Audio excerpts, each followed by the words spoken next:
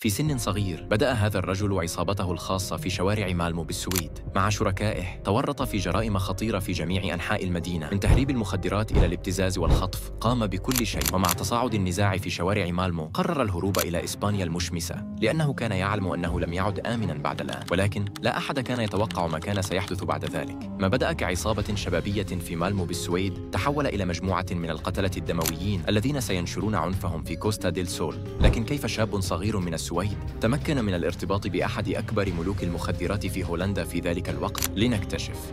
هذه هي قصة أمير مكي.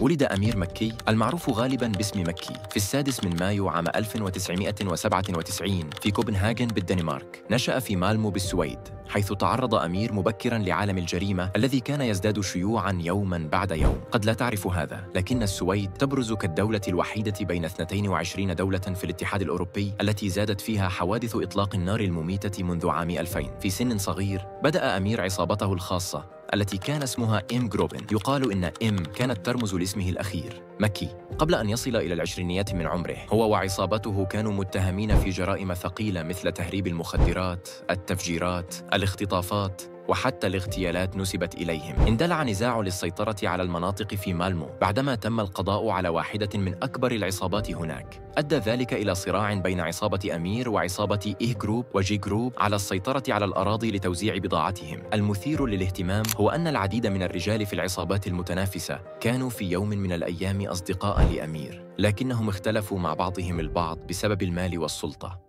في السابع من يونيو عام 2018 حوالي الساعة الثامنة تم اختطاف الأخ الصغير لرجل يدعى داني جاي بواسطة عدة رجال بينما كان يمشي بالقرب من منزله. طلب الخاطفون فدية كبيرة تقارب مليون يورو. لو لم تدفع الفدية كانوا يهددون بوضع رأس الأخ الصغير في ميدان مالمو الرئيسي في قلب المدينة. كان داني جاي يشتبه منذ فترة طويلة بأنه شخصية رئيسية في عالم الجريمة السري في السويد. حيث زعم أنه كان يهرب كميات كبيرة من المخدرات إلى البلاد ليتم بيعها في شوارع مالمو. لذلك اعتقدت العصابة أنهم يمكنهم جني بعض المال منه. بعد ثلاثة أيام من اختفاء شقيقه الأصغر عثر عليه شخص يتجول في الشوارع وهو مصاب بوضوح. تدخلت الشرطة وبعد تحقيق شامل تم تصنيف أمير وعصابته كمشتبه بهم. ولم يتم تأكيد ما إذا كان داني جاي قد دفع الفدية أم لا. الرسائل المسربة عبر شبكة بي جي بي أظهرت أن داني كان يسعى للانتقام. في إحدى الرسائل قال أريد خطف والده ووضع رأسه في وسط ساحة مالمو الرئيسية لأن هذا ما أراد فعله بأخي عندما احتجزه. في الثامن عشر من يونيو وجد أمير وعصابته أنفسهم هدفاً لهجوم. كان مقهى جالاكسي في مالمو نقطة الاجتماع الخاصة بالعصابة. في الساعة الثامنة مساء توقفت سيارة أمام المقهى وخرج شخص من السيارة وأطلق النار من بندقية كلاشينكوف. بدأت الطلقات تتطاير. وأصيب أمير في ساقه لكنه نجا. لم يحالف الحظ ثلاثة من أفراد عصابته الذين تتراوح أعمارهم بين 19 و27 و29 عاما ولم يتمكنوا من النجاة من الهجوم. تم التخطيط لهذا الهجوم من قبل داني جاي على الرغم من أنه كان يريد في البداية خطف أمير إلا أنه قرر في النهاية القيام بشيء مختلف. لسوء حظ داني نجا أمير من الهجوم. أدرك أمير أنه كان الهدف الرئيسي ومع تصاعد العداء في مالمو قرر الفرار إلى إسبانيا المشمسة حيث استقر في كوستا ديل سول تبعته أفراد العصابة. وبدلا من العيش بهدوء في بيئتهم الجديدة وبدء حياة جديدة واصلوا نشاطاتهم الإجرامية. تحولت عصابة إم جروبن التي كانت في مالمو إلى عصابة لوس سويكوس أو السويديون في كوستا ديل سول ظل أمير الزعيم وأصبح شقيقه الرجل الثاني في القيادة إلى جانب تسعة آخرين. معا استمروا في تهريب المواد من جميع أنحاء العالم إلى السويد وجنوا الكثير من المال لتمويل أنشطتهم. على الرغم من أن هذا لم يكن كل ما فعلوه قاد أمير أيضا مجموعة من القتلة المحترفين الذين يمكن استئجارهم للقيام بالوظائف. وكانت تلك المجموعة تسبب الرعب في كوستا ديل سول.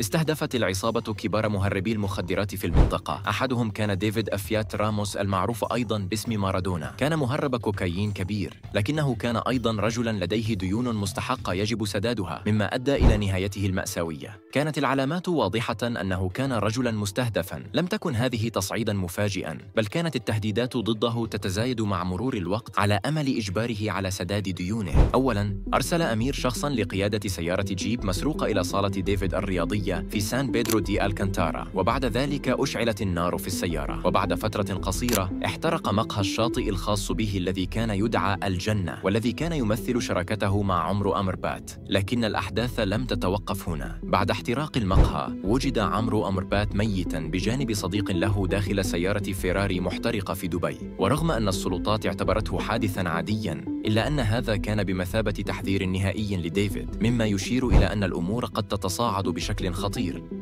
حذرت الشرطة الإسبانية ديفيد قائلة: نحن قادمون إليك، هل هناك شيء تود إخبارنا به؟ لكن ديفيد تجاهل التهديدات على حياته، ردا على ذلك بقوله: لن يحدث لي شيء، لكنه سيثبت أنه كان مخطئا في الثاني عشر من مايو عام 2018 يوم أول قداس لابنه، بينما كان راموس يتوجه إلى سيارته الأودي بعد مغادرة الكنيسة مع عائلته، اقتربت منه دراجة نارية، في غضون لحظات اخترقت خمس طلقات نافذة السيارة، صامتة مارادونا إلى الأبد، بينما كانت عائلته أيضا جالسة داخل السيارة.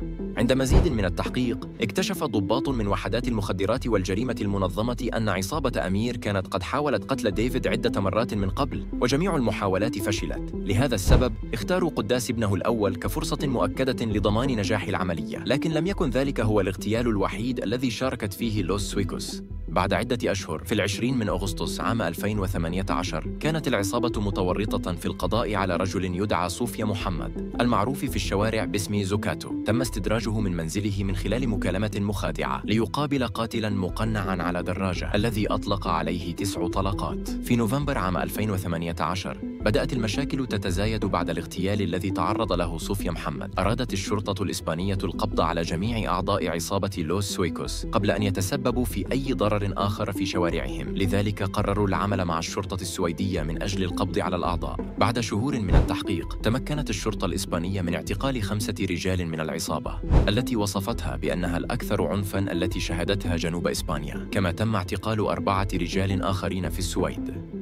بعد اعتقالهم قالت الشرطة الإسبانية إن الرجال كانوا ينامون في منازل مختلفة تقريبا كل يوم ويتخذون العديد من الاحتياطات الأمنية للبقاء بعيدا عن أيدي الشرطة لكنهم فشلوا في النهاية ومع ذلك لم تكن مهمتهم ناجحة 100% حيث تمكنوا من القبض على الجميع باستثناء هدفهم الرئيسي أمير وشقيقه. كان من المعجزة أن أمير تمكن من الهروب من مداهمة منزله في الرابع عشر من نوفمبر. على الفور فر إلى دبي باستخدام جواز سفر مزور وهناك يزعم أنه رجل المال لرضوان طاهي.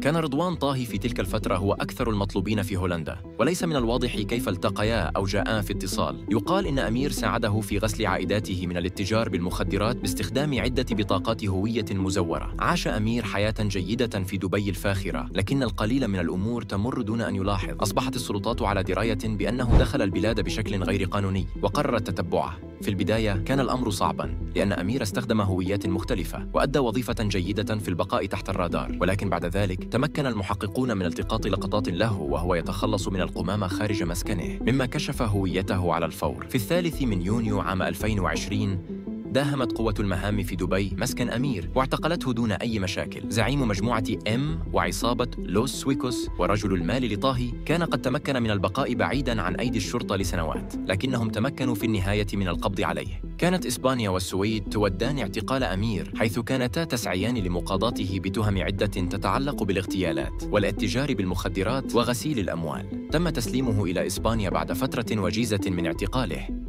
واجه المدعي العام الإسباني صعوبة في جمع جميع الحقائق لبناء قضية. قضى أمير ثلاث سنوات في الحبس الاحتياطي في إسبانيا وكان من المقرر أن يطلق سراحه قريبا. جددت السويد اتهاماتها ضده وقررت إسبانيا تسليمه مرة أخرى إلى بلده الأم في أغسطس عام 2023 حتى لا يغادر كالرجل الحر. قال ميخائيل نيلسون ممثل أمير إنه ينفي جميع الاتهامات. لكن المدعية ليزا أبرغ تدفع من أجل المزيد. متجاوزة اتهامات المخدرات حيث تلمح إلى إمكانية إضافة مخالفات أسلحة أيضاً. كانت هذه هي قصة أمير مكي. حالياً يبدو أنه سيقضي فترة طويلة جداً خلف القضبان في السويد وربما في إسبانيا في النهاية أيضاً.